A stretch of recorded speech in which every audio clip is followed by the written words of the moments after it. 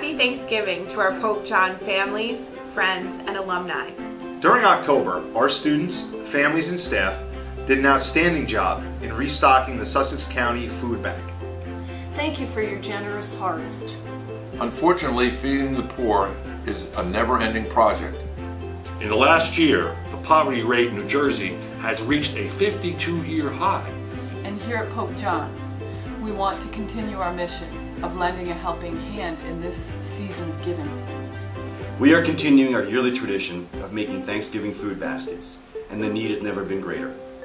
As Matthew's Gospel instructs us, For I was hungry, and you gave me food. So, we are reaching out to all of you.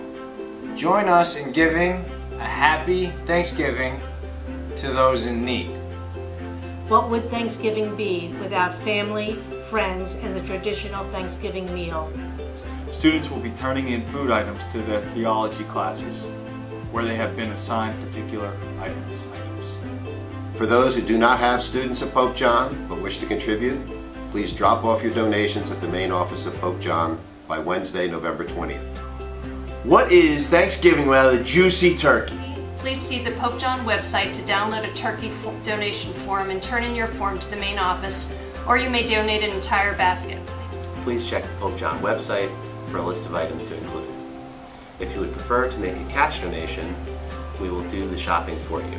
We wish all a happy Thanksgiving and may God bless you and your family and friends for your wonderful generosity.